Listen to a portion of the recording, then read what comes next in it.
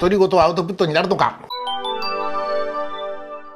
ズンオビーさん。アウトプットの一つに話すがありますが独り言はアウトプットにはなりますか？結論なります。すごくなります。すごくなるので私はすごい独り言が多いです。今日も風呂場で独り言を言ってたらうちのかみさんに怒られて「うるせえ!」って言って朝からみたいなのでねよくあるんだけどね。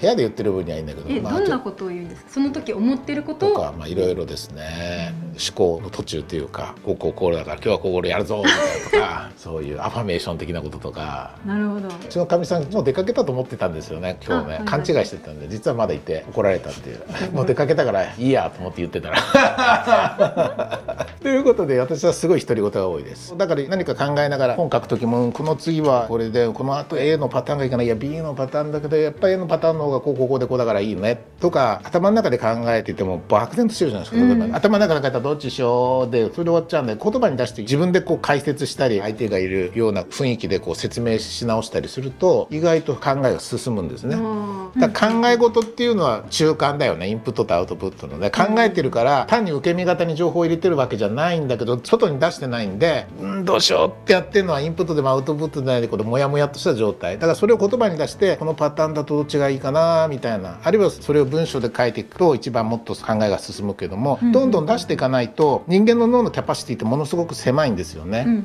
ワーキングメモリーでいうと3つっていうふうに言われてて脳の中に3つのトレイがある。あそれも話もこれにねかなり詳しく書いてありますね、そのぐらいしかキャパシティがないのね。だからその狭い中で考えても結局堂々巡りにしかならないんですよね、うんうん。だから全部外に出して考えていくとどんどんどんどんいろんなアイデアが出てきますね。独り言アウトプットになるかって話なんだけどものすごくなりますねこれはね。で私もそれをよく活用しているということです、ということで独り言他の人の迷惑にならないようにぜひ活用してください